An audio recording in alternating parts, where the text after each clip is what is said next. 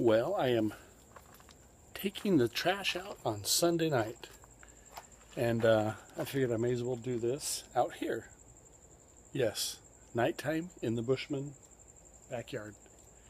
But uh, our kids come over every two weeks for Sunday dinner.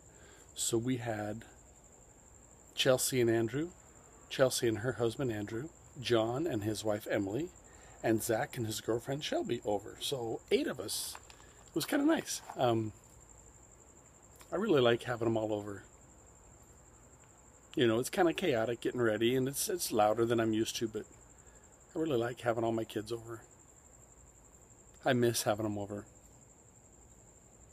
Um, afterwards, Maitland played the piano and Zach sang for a while. Um, I love listening to him sing. All my kids sing. Anyway, but uh, just a good end for a Sunday. Awesome Sunday. I'll talk to you later. Okay? There. See? The light's changing. Woo. Yeah. Anyway, that's our one porch light that works. Okay, talk to you later.